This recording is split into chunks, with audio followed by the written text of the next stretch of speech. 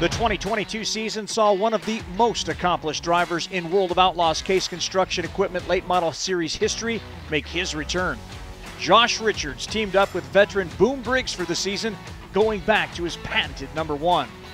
And while he didn't grab a win, the Houston, Ohio native did have shining moments with four third place finishes in May. Richards reached the podium at Mississippi Thunder Speedway, Marion Center Raceway, Bloomsburg Fair Raceway, and Sharon Speedway. The four time series champion, Josh Richards, finished sixth in the standings on the strength of four top fives and 14 top tens.